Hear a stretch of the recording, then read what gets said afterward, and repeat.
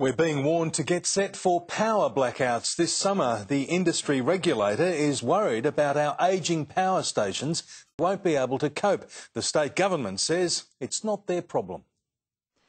We're being warned more than a million homes could experience blackouts this summer. We would be in a load shedding incident just like we were last January when we had a number of units out on a very hot day. It's the worst case scenario if two of the state's power stations aren't returned to service after faults earlier this year.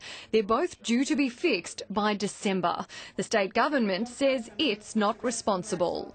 This is an essential service that these privately owned corporations are providing to Victorians. It is their obligation to ensure that the power is there when Victorians need it. The government hasn't foreseen uh, problems that may come up and certainly haven't ensured that there's capacity to deal with those problems. So what should Victorians do? Well, if you want to be sure to keep the lights and the air conditioner on this summer, a generator could provide a backup power source. If it happens more, then you've got to consider that, especially you know, the longer days, you need to be able to have some level of cooling.